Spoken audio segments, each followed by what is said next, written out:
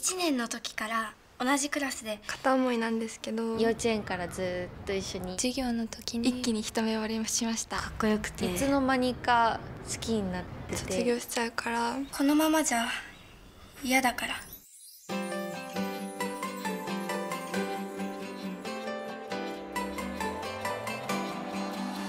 部屋に閉じこもっていないで鏡を見てあなたは死ん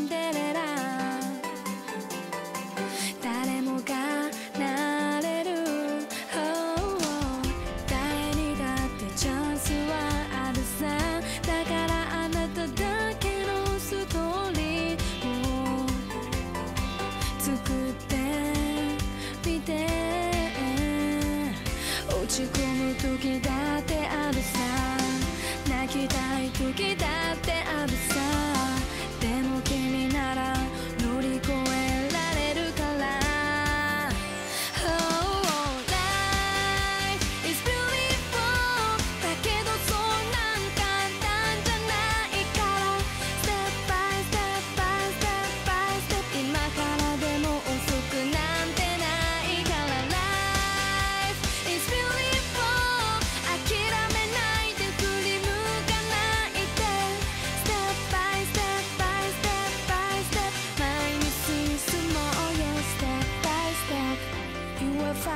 And just the way you are.